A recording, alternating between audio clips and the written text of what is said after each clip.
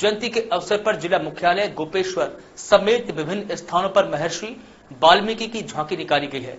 वाल्मीकि मंदिर से निकाली झांकी में युवाओं ने कौशल का प्रदर्शन किया है। जगह जगह लोगों ने झांकी पर पुष्प वर्षा कर स्वागत किया है। बीते शनिवार की रात्रि से ही वाल्मीकि मंदिर में भक्तों, श्रद्धालुओं ने पूजा अर्चना की है। इस झांकी यात्रा में सैकड़ों लोग शामिल हुए हैं। चमोली से संदीप कुमार की रिपोर्ट।